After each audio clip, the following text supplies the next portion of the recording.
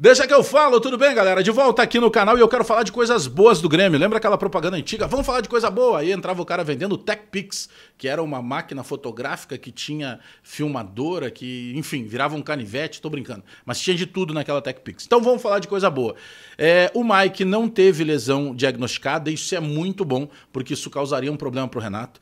É, o Soteudo é, não se sabe ainda ao certo quando ele volta definitivamente. Mas a notícia do Soteudo é de uma recuperação que se aprimora a cada dia que passa e ele vai voltar antes daquele prazo que se imaginava que ele pudesse voltar. Ah, e tem também a presença de público, né? 7 mil lugares para a nossa torcida disponíveis no Estádio Centenário. Não tenho dúvida que vai ficar pequeno o Centenário e provavelmente é, o Grêmio vai ocupar é, mais espaço até do que pode estar ocupando, quem sabe, a torcida do Caxias. Mas vamos falar disso?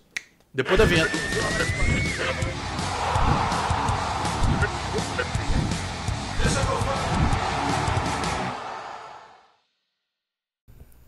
Esse vídeo para Zapay, né? Março é o último mês para que tu possa regularizar o teu IPVA 2024 no Rio Grande do Sul. Não perde teu tempo, vai aqui na descrição do vídeo, clica no link. Tu vai clicar nesse link, tu vai baixar gratuitamente o aplicativo da Zapay. A partir daí, tu vai acionar a equipe da Zapay, vai, eles vão é, averiguar toda, todos os débitos do teu veículo e tu vai poder parcelar essa negociação em até 12 vezes no teu cartão de crédito. Vou te dar mais uma barbada usa o cupom BAGÉ20. Usando o cupom BAGÉ20, naturalmente tu vai ter mais 20% de desconto e aí tu pode abater taxa de cartão, enfim. Resolve a tua vida aqui, ó. Descrição do vídeo, clica no link, baixa gratuitamente o aplicativo da Zapay e fala com a equipe que tu vai resolver o teu problema do IPVA 2024 no Rio Grande do Sul. Bora pro vídeo porque a gente tem que falar de notícias boas do Grêmio, né? É, eu até vou colocar aí na imagem, é uma imagem que acabou viralizando ontem, muito engraçada, porque é, o Departamento de Ciência, é, Saúde, eu sempre esqueço a ordem, é Departamento de Ciência, Saúde e Performance do Grêmio, que é capitaneado lá pelo Rafael Barlese. Inclusive, estou tentando uma entrevista com o Barlese aqui no canal para a gente explicar exatamente qual é a função né, de todo esse departamento que hoje ele acaba chefiando.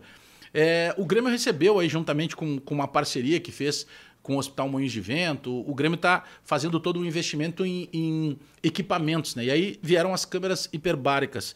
E aí tem uma imagem muito engraçada que é o Soteudo fazendo uma recuperação na câmera. E aí acho que foi o Júnior Maicá que colocou lá no Twitter disse assim: olha, parece um bonequinho que ainda. um brinquedo que ainda está na caixa. É muito engraçado. Mas o que, que é o melhor disso? O Soteldo é, quando ele machucou, a gente ficava na dúvida assim, cara, o Soteldo não vai estar à disposição para início de Campeonato Brasileiro, para primeira fase, quem sabe nem para segunda, nem para segunda partida, né? Não vai estar disponível para a estreia da Libertadores, vai perder final de Gauchão. Era, era uma coisa maluca assim. É, até porque ultimamente, né, é, fica difícil de que a gente possa é, é, é traçar uh, um período mínimo de de recuperação no departamento médico, porque geralmente demora um pouco mais. Bom, mas a partir daí, as notícias são muito boas, né? Porque a cada dia que passa, a, a informação que chega é que o Soteudo pode ficar já à disposição para as partidas finais do Campeonato Gaúcho. Não, quem sabe, como titular, mas à disposição já do Renato.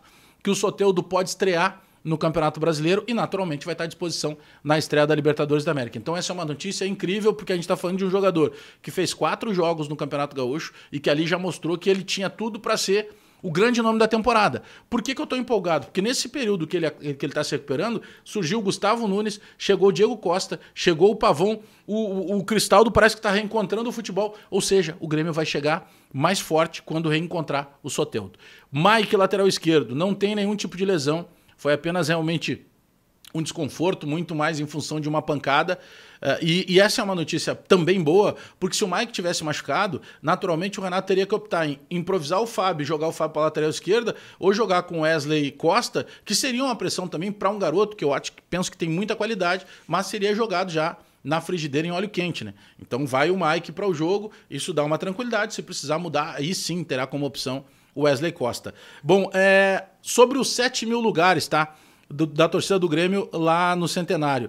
É, e claro, aí o que eu vou falar aqui não, não é uma regra ainda, que bom que fosse futuramente, de que a Federação Gaúcha de Futebol pudesse tratar diretamente com os clubes nesses, nesses jogos finais, dar uma quantidade maior para as duas torcidas. Tu dá nesse primeiro jogo lá que é em Caxias, por exemplo, ao invés de 7, dá 10 mil lugares para o Grêmio. E aí no jogo da volta, dá 10 mil lugares. Eu não vou. Vamos dizer assim, então. Vamos fazer proporcional, tá? É, que não sejam os 10 mil lugares no Caxias, porque a Arena tem uma capacidade maior, mas dá uma mesma proporção. Só vamos definir qual é a proporção que representa 10 mil lugares para o torcedor do Grêmio lá no Centenário. No jogo da volta, tu faz a mesma proporção e entrega para o time adversário, que no caso é o Caxias. Porque a gente está falando de uma semifinal, a gente está falando do campeonato, que é a principal competição do ano para a Federação Gaúcha de Futebol. Mas é uma notícia boa, 7 mil lugares, e com certeza todos estarão tomados e a gente vai estar tá com a equipe, a equipe completa da jornada do Bagé para mais uma decisão do Grêmio lá em Caxias no sábado. Te inscreve no canal, deixa o teu like, aperta o sininho para receber as notificações porque eu volto a qualquer momento com mais informações do Grêmio. Até daqui a pouco!